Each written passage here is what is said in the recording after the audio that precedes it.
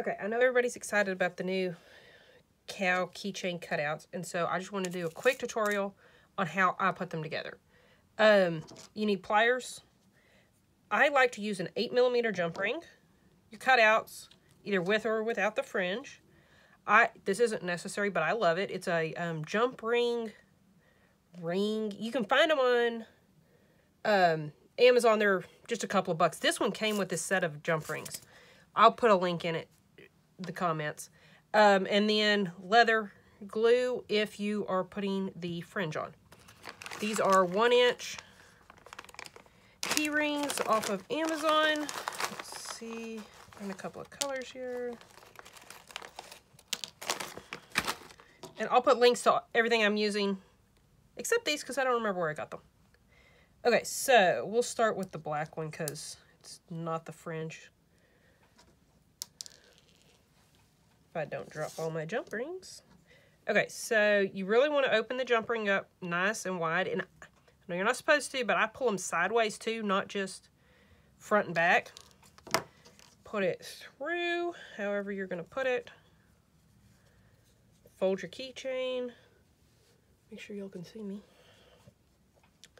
Okay, and then what I do is start threading it through. And I go from the back and on one side at a time because that's easier than trying to line up everything all at once.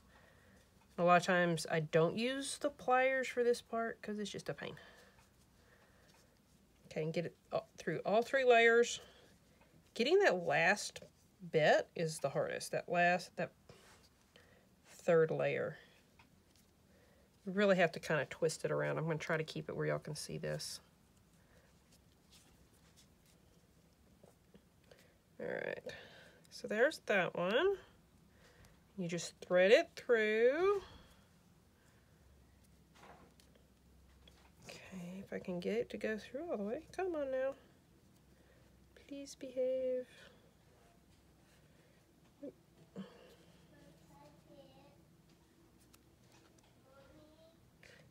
kiddos are home from school. Da, da, da. This is being difficult. Just a second, kid. This jump ring is being difficult. Yeah, give me just a minute, kid. There we go. I have to bend it around somebody on Facebook said that they were gluing the layers and then putting the jump ring through. I have not tried that yet. Um, you want to try it? That may be easier. I have mangled this jump ring. Want to try today? Or, you want to try today? Yeah, I'll probably try it later. All right. So. today. There we go. And I just kind of fold it over on itself. Oh. All done. Brianna. Shh. Please. All right, so it's the same process for I'm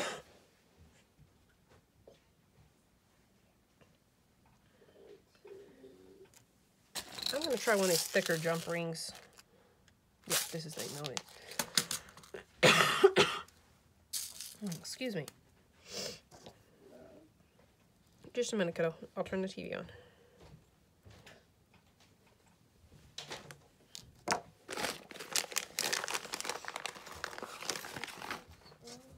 Okay, so same process.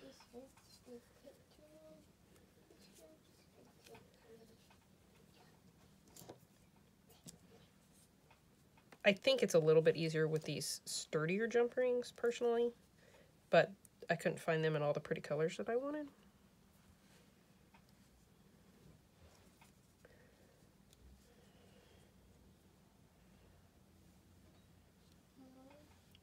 Just a minute, kiddo. There we go. Yeah, much easier with the thicker jump rings. Okay, now you went jumping. Mm-hmm. Just a minute in a minute. I'm about to cry.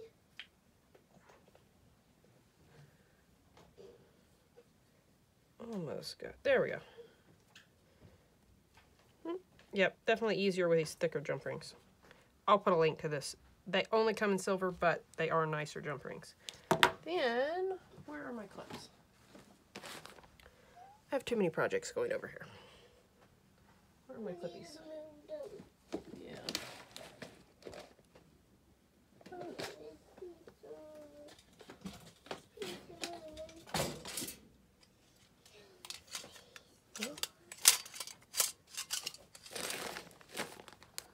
Somebody move my clippies. Oh, there. Well, probably me. I tend to hide things from myself. Okay, and then a little bit of glue on this part. And I like to do the uh, fringe wrong side out. That way it actually looks like hair. And you can play with placement on this. Some people like the whole face covered. I like it a little bit further back. But not enough that they're they have a bad hair day. Kind of have to play with it. And then I just wipe the excess glue off with a paper towel. And I use, these are quilting clips. I got them on Amazon. They're knockoff Wonder clips. And I just clip it down and leave it for about two hours. Make sure it's good and dry. And that's how I make the keychains.